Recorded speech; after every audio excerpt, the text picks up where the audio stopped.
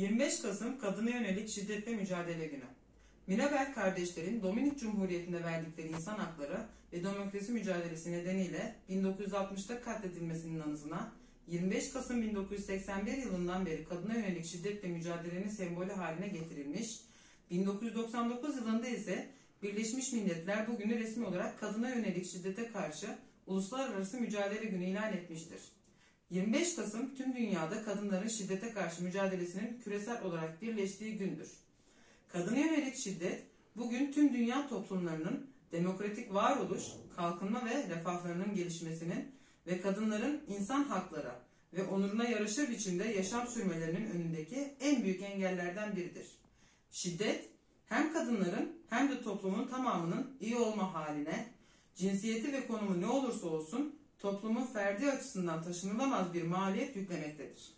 Bu nedenle kadına yönelik şiddetin sona ermesi, cinsiyet eşitliğini sağlama ve kadınlara karşı şiddeti önlemeye yönelik politikalar izlenmesi yönünde mücadele veriyoruz.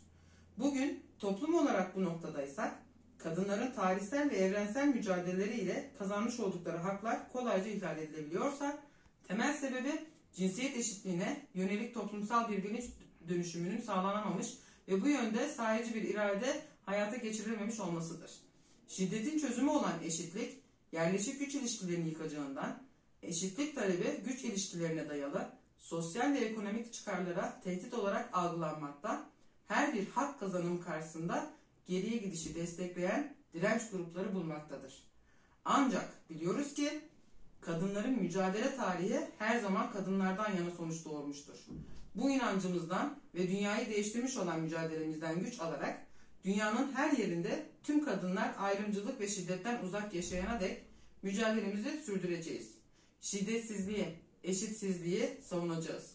Dayanışmamızı daha da güçlendirip yaygınlaştırarak cinsiyetler arası ayrımcılığa dikkat çekme gereği kalmadan her günü eşit ve şiddetsiz geçireceğimiz toplumlar yaratana kadar mücadelemizi sürdüreceğiz.